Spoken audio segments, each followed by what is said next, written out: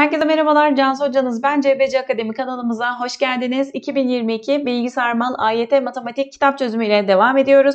Dördüncü bölümdeyiz. Test 9'dayız. Konu tarıma 4 testindeyiz. Dersimize başlamadan önce şöyle bir açıklama ve hatırlatma yapmak istiyorum. Bize destek veren, kanalımıza destek veren, abone olan, yorum yapan herkese çok teşekkür ediyorum. Gerçekten destekleriniz bizim için çok çok önemli. Çok mutlu oluyoruz bunlar için. Hala kanalımıza abone değilseniz desteğinize ihtiyacımız var. Lütfen kanalımıza abone olup videolarımızı anlatımımı beğeniyorsanız videolarımızı beğenmeyi ve bildirim zilini açarak dersleri zamanında izlemeyi sürdürebilirsiniz. Hepinize sevgiler. Haydi bakalım dersimize başlıyoruz. Birinci sorumuzda başlıyoruz. Aşağıda verilen birim çemberde TOB alfadır. Buna göre hangileri doğrudur? Daha büyük görebilmemiz için aynı şekli ben çizmiş oldum şurada. Şimdi OB sekant alfa demiş. Üçüncü öncülde o AC kosekant alfa gibi bunları bulmamızı istiyor. O zaman biz kosinüs ve sinüsü bulmaya çalışalım arkadaşlar. Kosinüs alfaya başlıyorum. Kosinüs alfa demek komşu bölü hipotenüs demekti. Şurayı bir 90 dereceye eklediğim zaman kosinüs alfanın komşusu yani alfanın komşusu OT kenarı bölü hipotenüs de karşı kenarı yani OB kenarı diyebilirim. OT zaten 1 olduğu için yarıçap birim çemberde 1'di. OT'yi 1 yazdığımız zaman 1 bölü OB kenarımızın kosinüs alfa olduğunu İçler dışlar çarpımı yaptığımızda da OB kenarımızın 1 bölü kosinüs alfa olduğunu, bu da sekant alfaya eşit olduğunu bulmuş oluyoruz. Peki OB diyor sekant alfadır diyor. Birinci öncülümüz o zaman doğru çıktı. Geldik ikinci öncülümüze. İkinci öncülümüzde OT bir birim diyor zaten. Birim çemberde yarıçaplar bir olduğu için bu da zaten doğru bir ifadedir. Üçüncü öncüle geldiğimde AC kenarını istiyor. AC kenarı yukarıda. O zaman biz şuradaki A, O, T üçgenini taşıyalım alfayı. Şimdi alfa ise şurayı beta diyelim ve alfa artı beta'nın toplamı 90 derece. Bunun 90 olduğunu biliyorsam şuraya da alfa kaldı. Şimdi buradan isterseniz sinüs alfayı elde edelim. Sinüs alfa nedir? Karşı bölü hipotenüstür. Karşımız OT kenarı yani 1 bölü hipotenüsümüz de AO kenarıdır. AO kenarı. AO kenarından bakın şurası zaten bir birim olduğu için bir birimi çıkarırsam ben AC'yi elde ederim. AC tekrar söylüyorum. AO'dan OC'yi çıkararak bulduğum kısımdır. AO'yu biz ne bulduk buradan? 1 bölü sinüs bulduk içler dışlar çarpımından. AO 1 bölü sinüs alfa eksi. OC de 1 geldiği için buradan devam ettirirsek 1 eksi sinüs alfa bölü sinüs alfa gelecektir. Zaten buna gerek yokmuş. Kosinüs alfa eksi 1 mi diyor acaba? Yani 1 bölü sinüs alfa da zaten kosinüs kosekant alfa olduğu için eksi 1 olacaktır. O da zaten doğru ifadedir. Yani cevabımız E şıkkı 1, 2, 3'tür. İkinci sorumuzdayız. Eren zemin ile 53 derecelik açı yapacak şekilde 5 metre yüksekliğindeki bayrak direğinin B noktasına baktığında okul binasının A noktasını görebilmektedir. AB uzaklığı 4 metre buna göre A noktasının yüksekliği kaç metredir şeklinde sorulmuş. AB 4 metre olarak verilmiş. Hemen 4 yazalım. Eren 53 derecelik açı yapacak şekilde 5 metre yüksekliğindeki bayrak. 5 metreyi zaten yazmış. 53 derecelik açı yapacak şekilde A noktasına bakıyormuş. Yani ben şunu uzattığım zaman dik olacak şekilde uzattığım zaman bu açının 53 derece olduğu söyleniyor. Peki bayrağın uzunluğu da 5 olduğu için yani şuradan buraya olan kısım 5 metre olarak yazılabilir. Tamam. O zaman arkadaşlar ben şu kısma paralel olacak şekilde bir para, paralel çizip burada da bir üçgen oluşturduğum zaman zaten A'yı olan yüksekliği istiyorum. Yani şu kısma x dediğim zaman bakın yöndeş açılardan 53 derece ise buraya da 53 derece kalmış oluyor. Peki buradan sinüs 53'ü karşı bölü hipotenüsten burası da 90 derece olacak zaten. Karşısı x hipotenüste 4 olsa x bölü 4 bulurum.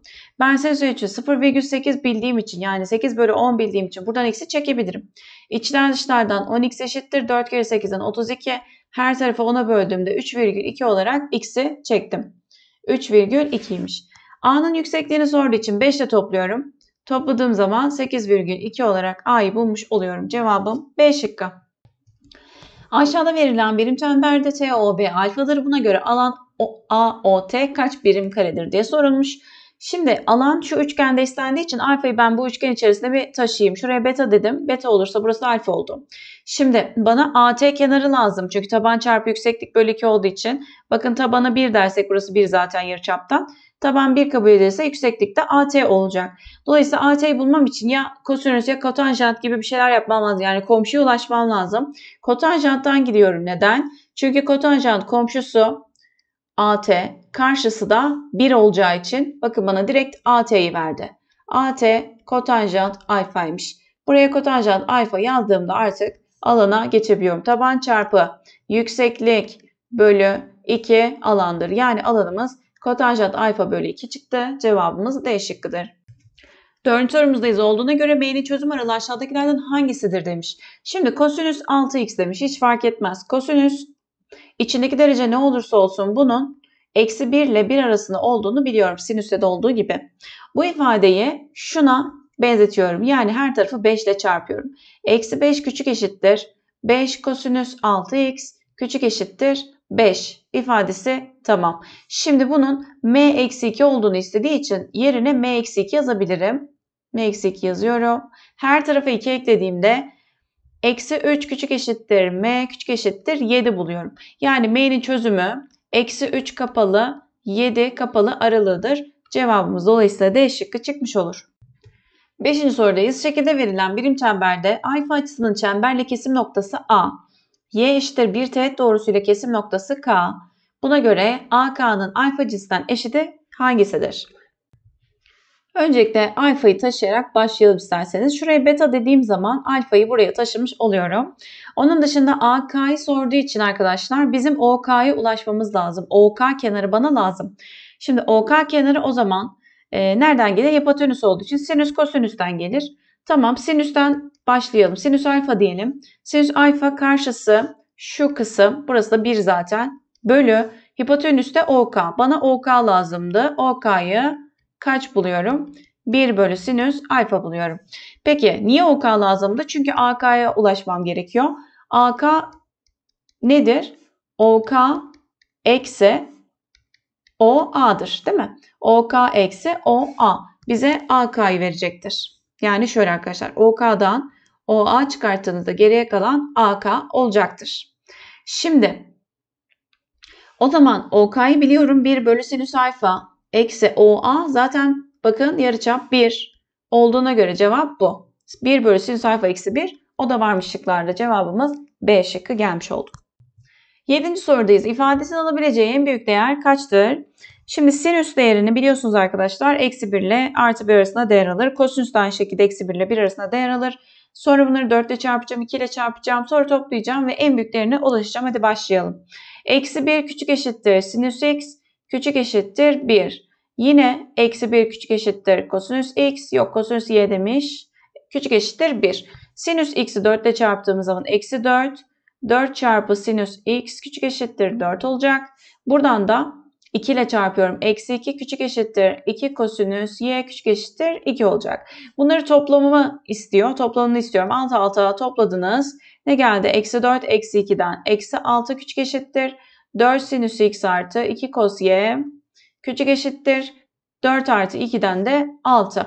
Yani bunun alabileceği en büyük değer 6, en küçük değer eksi 6 olduğuna göre en büyük değeri soruyor. Cevabımız E şıkkı.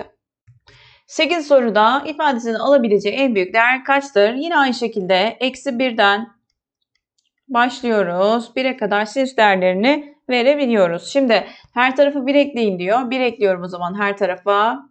1 artı sinüs x küçük eşittir 2. Şimdi mutlak değerini alın diyor. Zaten burası yani pozitif olduğu için ve 0 olduğu için bir şey değişmeyecek. Mutlak değerini aldığımda 1 artı sinüs x mutlak küçük eşittir 2 gelecek. Buradan da eksi ile çarpın dediği için her tarafı eksi ile çarpıyorum. Eşitsizliğin bu sefer yön değişmiş olacak.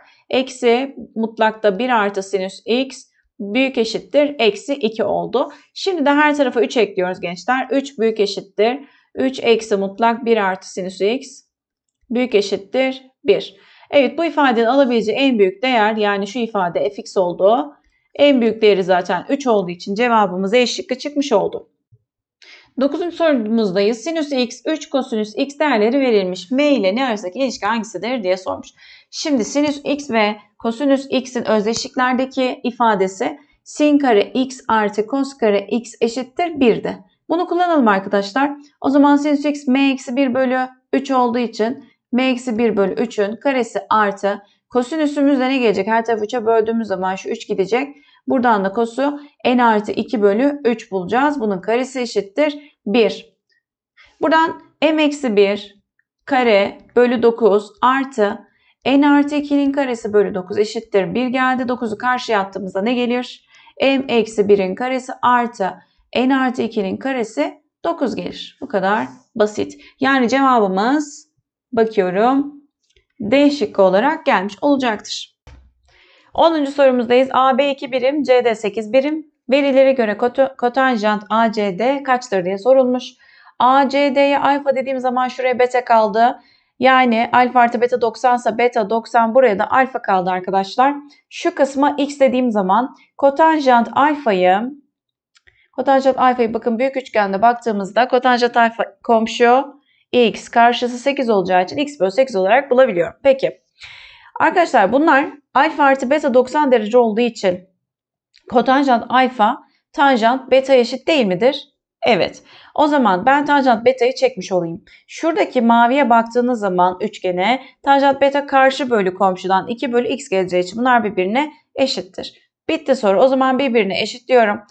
2 bölü x'i x bölü 8'e buradan x kare 16 x de 4 olarak çıkmış oldu. Şimdi kotanjant sormuştu ya bize. Yani kotanjant alfa değeri x bölü 8 de bu da 4 bölü 8'den 1 bölü 2 çıkmış oldu arkadaşlar. Cevabımız B şıkkı. Ve geldik son sorumuza. 11. sorudayız. Aşağıda yarıçapı 2 birim olan çember verilmiştir. DK BL'ye eşittir. DK BL'ye eşittir. Yani şuradaki mesafeler eşitse zaten buradaki mesafeler de eşit olacaktır arkadaşlar. O yüzden buralara S diyeyim ben. Peki onun dışında zaten demek ki C ve A noktası da aynı uzaklıkta, eşit uzaklıkta. Yani şu AO hipotenüs kenarı OC hipotenüs kenarıyla eşittir diyebilirim. Bunlar da birbiriyle eşit. Tamam. Burası da 90 derece olmuş oldu. Ne istiyor bizden? CD uzunluğunun CD uzunluğunun alfa türünden eşiti nedir? Nereye alfa demişiz? A, O, B'ye. A, O, B yani burası alfa ise o zaman şurası da zaten alfa olacaktır değil mi arkadaşlar? Görünüyor mu? Şöyle bir daha çizdim. Alfa dedim. CD uzunluğu için bize karşı kenar lazım. Karşı kenar bir de birim çemberin zaten bu arada iki birim çembermiş bu. O zaman yarıçapımız 2 olduğunu biliyoruz. Dolayısıyla karşı bölü hipotenüsten yani sinüs alfadan bu işi bitirebiliriz. Sinüs alfa karşısı CD kenarını verecek. Hipotenüs de 2 olduğu için CD kenarını ne olacak? 2 sinüs alfa olarak bulmuş olacağız. 2 sinüs alfa cevaptır. Dolayısıyla cevabımız C şıkkı olarak çıkmış olacaktır. Evet testimizi burada bitirdik arkadaşlar. Bir sonraki testte işaret sıralama dönüşümler testinde hep birlikte devam ediyor olacağız. Tekrar hatırlatmak isterim. Abone olan, destek veren, güzel yorumlar yapan herkese çok teşekkür ediyorum. Gerçekten çok mutlu ediyorsunuz bizi. Emeklerimizin karşılığını almak gerçekten çok gurur verici bir şey. Bundan dolayı hepinize gerçekten kalpten yürekten teşekkür ediyoruz. Bunun dışında da abone olmayan varsa eğer destekleriniz bizim için çok önemli.